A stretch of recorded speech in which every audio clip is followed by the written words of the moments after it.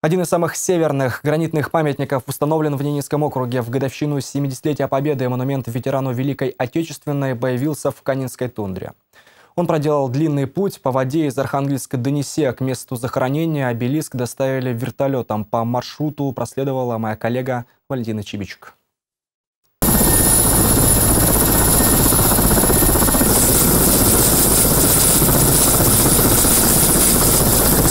Внеплановый рейс для села всегда небольшой праздник, особенно когда он летит в стойбище за десятки километров от Неси. Там, у самого побережья Баренцева и Белого морей, кочуют бригады двух кооперативов – «Восход» и «Общины Канин». Этот вертолет – шанс отправить родным самое необходимое – продукты, медикаменты, вещи и памятник семьи Латышевых. Они отправляются в шестую бригаду, где был похоронен ветеран Великой Отечественной Иван Латышев. В шестой бригаде я был, вот здесь проходили. В то время его не стало, когда шестой я был а сейчас я нахожусь в пятой. Тут сын похоронен у него, отца у меня. Тут, как он будет-то? Тетка, что ли, будет ему?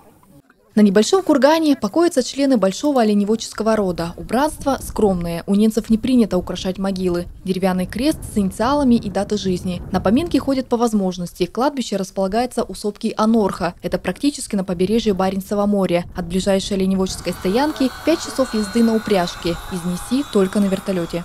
Раньше, когда еще я в детстве была, тундре жили, и по этому маршруту наша бригада кочевала, но, честно скажу, я ни разу здесь не была. Почему-то нас сюда или все время было некогда, не привозили. Вот. А так сестра, вот, буквально у них маршрут у 4 бригады рядышком проходит, они приезжают, вот они крестик даже подкрашивали. Теперь перед крестом стоит гранитная плита. Ей уже не страшны ни ветер, ни мороз, ни дожди. Проезжающие мимо пастухи всегда поймут разборчивые надписи.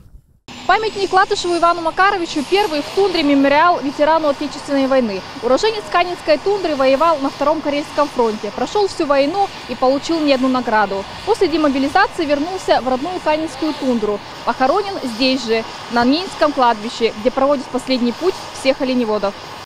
В год 70-летия Победы небольшой памятник возвысится над могилой каждого ветерана, захороненного на территории Ненецкого округа. В зависимости от даты смерти, средства на установку обелиска выделяет округ или федерация. Всего с 2012 года было изготовлено более 350 памятников. Они установлены в населенных пунктах и на Ренмаре. Теперь в этом списке значится и сопка Анорха у мыса Канин-Нос.